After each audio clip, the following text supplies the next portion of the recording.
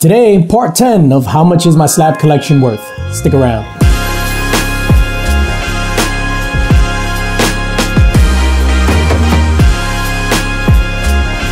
DJ Linx is in the building. Before we continue on, make sure you head on over to djlinx.bigcartel.com and pick up your Austin LeMay limited edition 11 by 17 art print. The art print is limited to 50 pieces with 100% of the proceeds going to Comics Curing Cancer. What's going on everybody? It's your boy DJ Linx back in the building, back in effect, DJ and back with another video. And today, part 10 of How Much Is My Slab Collection Worth? I hope you've been enjoying this series. I've had a lot of fun putting it together. And without further ado, we're gonna dive right in with the first slab. And the first slab we have up, this was a super impulsive buy. I saw this image on Instagram and then I Googled it, went to eBay and bought it. I was just like, yo, this is the greatest cover I've ever seen in my life. And that is Secret Wars number four from 2015, a variant, a comic exposure variant. And this is Del like legit. That was the first time I ever seen this image on Instagram, and I knew I had to get this in the PC. An absolutely fantastic cover with two of my favorite characters ever, which is Thanos and the Silver Surfer. I needed this in the PC. Jonathan Hickman's story, ESAD, Ribic art, Gabriele Dell'Otto cover. This, of course, in a CGC 9.8 white pages. This is an absolute banger right here, and this is valued at $199. From one Silver Surfer cover to another Silver Surfer cover, and this is the absolute classic Silver Surfer number one from 1968 the first Silver Surfer solo series, the first issue in that series. And I picked this up recently. This is in a CGC 6.0 off white, the white pages.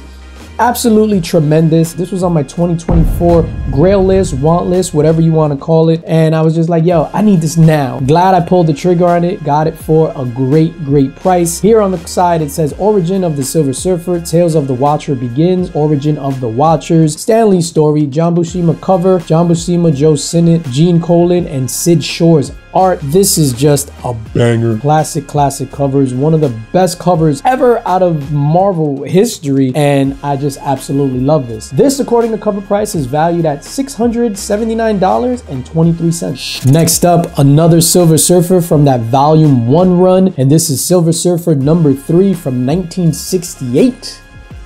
First appearance of Mephisto. CGC 6.0 off-white the white pages from December of 1968. Mephisto El Diablo. ah. I bought this at my LCS. I saw the price and I was just like, that can't be right. So I went home and it was just bugging me the entire time. And legit, I just went back that same day and picked it up. Big shout out to Royal Collectibles, my LCS. First appearance of Mephisto, Tales of the Watcher backup story, Stan Lee story, John Buscema cover, John Buscema, Joe Sinnott, Gene Colan, and Paul Reinman art. And this is absolutely classic material right here. The value on this bad boy, $369.20. Now this right here is one of my favorite covers of all time, one of my favorite storylines of all time. Of course, it includes Silver Surfer and Thanos. This is Silver Surfer number 44 from Silver Surfer Volume 3 from December of 1990. This is the first appearance of the Infinity Gauntlet. Classic cover right here with Thanos, Silver Surfer, and Drax the Destroyer. Boom. CGC 9.4 white pages. Absolutely classic.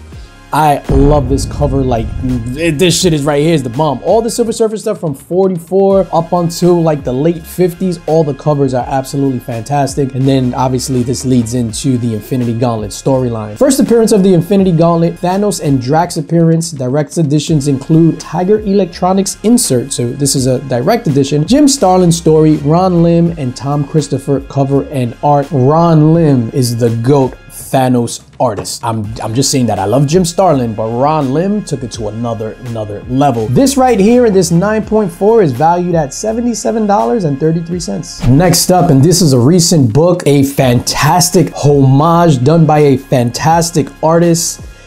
This is Silver Surfer Ghostlight number five, probably one of my favorite homages ever in comics, homaging Silver Surfer number four from volume one. This is in a CGC 9.8 white pages. This is a big time collectibles exclusive cover done by Felipe Mazzaferra. This thing right here, when I saw this, ah, boom, my head exploded. This shit is so crazy. Big time collectibles and Epic Nation collectibles exclusive, Silver Surfer number four. Cover homage, like I said. John Jennings story, Valentine De Landro art, Felipe Mazzaferra cover. This fantastic. I love this cover. I actually stopped collecting Silver Surfer Ghostlight. I got two issues in and I was just like, yo, this shit is garbage. But once I saw this, I knew I needed to grab that. This is valued at $52.71. Up next, another Felipe Mazzaferra homage, a virgin cover, this time homaging that Silver Surfer number 44 that we just saw a few moments ago. This is Silver Surfer Rebirth number one from March of 2022. This is a Comic Mint Virgin edition, Virgin exclusive, CGC 9.8 white pages, signed by Felipe Mazzaferra. This thing right here, another fantastic homage, taking the existing piece of art and elevating it. This right here is just fantastic. Ron Marz story, Ron Lim and Don Ho art, Felipe Mazzaferra cover. Absolutely love this. This right here, valued at 100 bucks. Next up, we have possibly the most important independent comic book since Spawn 1 was released back in the 90s. And this is Something is Killing the Children number 1 from 2019. CGC 9.8 white pages. When I got back into comics, all I heard were people talking about something is killing the children. So I was just like real heavy into Marvel. I was not really dipping my toe into indies, but I was like, you know what? Let me let me let me let me check this out. Got the trade paperbacks and I was not disappointed. Granted, I think something is killing the children reads better if you're reading it in a trade paperback as opposed to reading the monthly floppies. Was so happy I got this. I actually purchased this off my guy, my brother from another mother, Tyler from Whack Comics. He was liquidating some stuff and I got this from him. Something is Killing the Children, number one. First appearance of Erica Slaughter, James Tynion, the fourth story, Werther Dell'Edera cover and art in a 9.8. This is one of those books, if you see it for a decent price, pick it up, especially now that everything is kind of like resetting. If you see this for like five or under, grab it. This one right here is valued at $585. And I just mentioned this book a few moments ago when I said Something is Killing the Children was probably the most important independent book since this bad boy was released right here, arguably the most important independent book ever released, and this is Spawn number one from May of 1992. CGC 9.8 white pages, signed by creator Todd McFarlane. McFarlane. And I love that he wrote Todd, not T. McFarlane. First appearance of Spawn, Al Simmons, Pitt Pinup, and Dale Keown, and Spawn Pinup by George Perez. Never knew that. Pull out Spawn poster, signed by Todd McFarlane on October 11, 2017. Todd McFarlane story, cover, and art, CGC 9.8 white pages. I got this book before YouTube. This was one of the slabs when I started getting slabs. I was just like, I need this book. This was super important to me. Back in the day, uh, I was die-hard Marvel all day, every every day. This was the first book that I was just like, you know what? I'm gonna take a chance on Image. For some reason, my brothers put it in my mind that anything other than Marvel was just garbage, and they were wrong. Got Spawn number one back then, and I wasn't disappointed. This is not the version from back in the day. This is obviously I bought the slabbed up already. I absolutely love this book. Fantastic classic cover. And this one right here, valued at $150. Next up, going old school to the 1970s, we have Strange Tales number 180 from June of 1970. 75. This is the first appearance of Gamora, CGC 7.5 off-white, the white pages.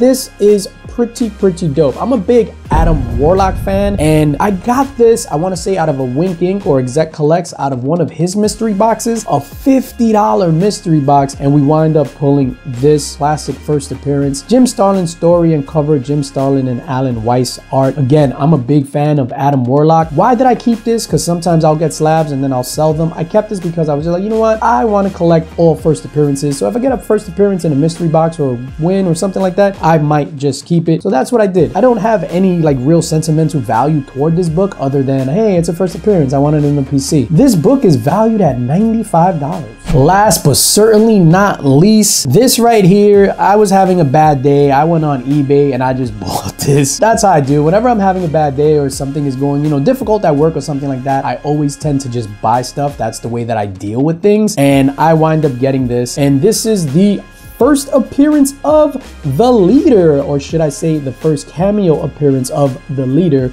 the Incredible Hulk's arch nemesis.